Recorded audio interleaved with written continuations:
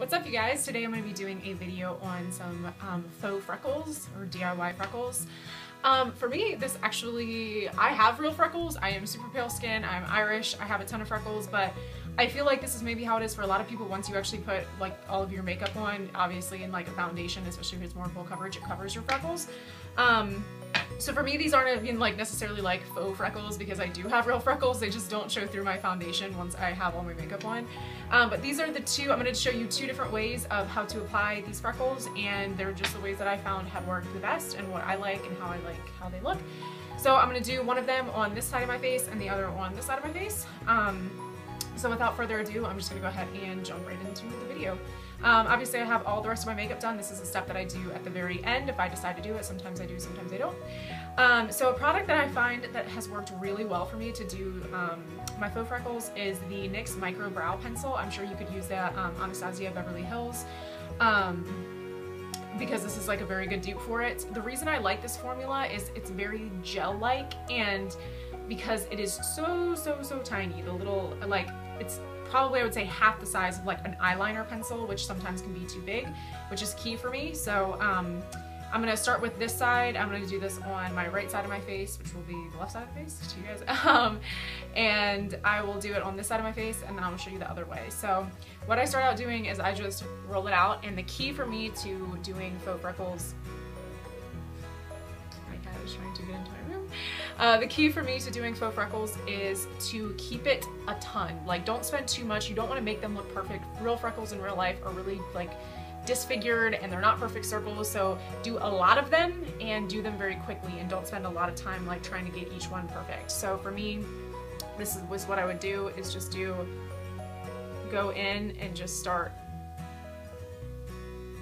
I'm, I don't know if you can tell, obviously, it's already, it's already working. Um, and I'm not even like, I do like it just a tiny little twist just to kind of like get it more pigmented, but I'm not spending a ton of time like drawing them on by any means. I'm just dabbing this right onto my face.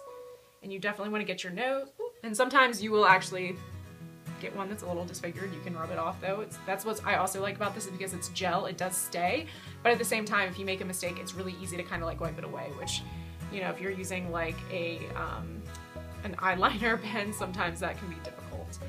Um, but the thing about freckles is people that really have them, they have normally a decent amount of them. So you want them to be kind of scattered. You don't want them to be perfect.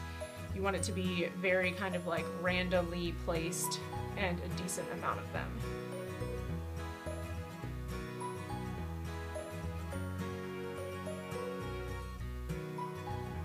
Feel like especially in the summertime freckles just look so cute. And especially it's it's a very unique look because having freckles on top of a makeup look already it's like they're it's like your skin already looks perfected but you have freckles so it's kind of like that illusion which is kind of weird.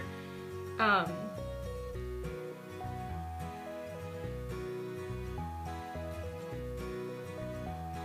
Alright, I'd say that's enough for that side of the face. And what's really nice about this is it's really easy to fix. If for some reason you go a little too overboard, I'm going to show you that in a minute, or if you think that they don't look well well placed or anything like that, you can always go in and change them a little bit. So the second method I'm going to use is I'm going to be taking my um, Anastasia Beverly Hills Dip Brow Pomade, and this is in soft brown, and I'm just going to be taking a eyeliner pencil.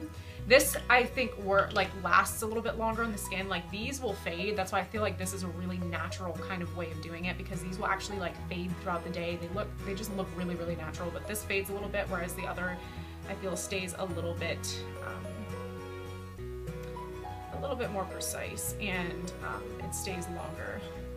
So I'm just going to pick a little, this brush is really great. This is the, um, I use this for my eyeliner. It's the Sephora Pointed Liner uh, Precision 02, 92 brush.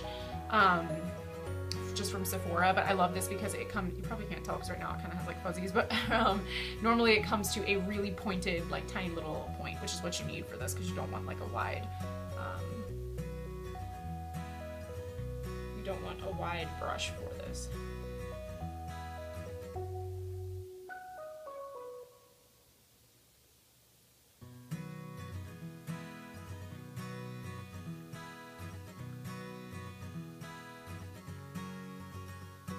And with this method, there is a trick to it a little bit more. I don't know if you can tell how much more pigmented this is.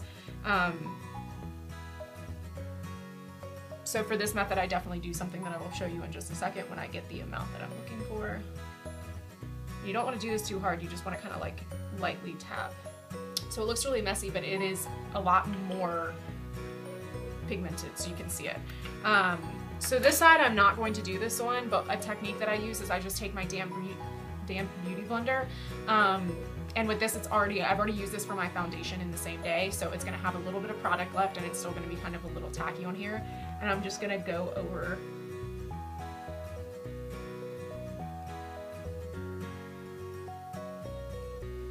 I just went and put a little bit more highlight on because when I do pat it back over, it kind of like took off a little bit of my makeup that I had put on underneath of it.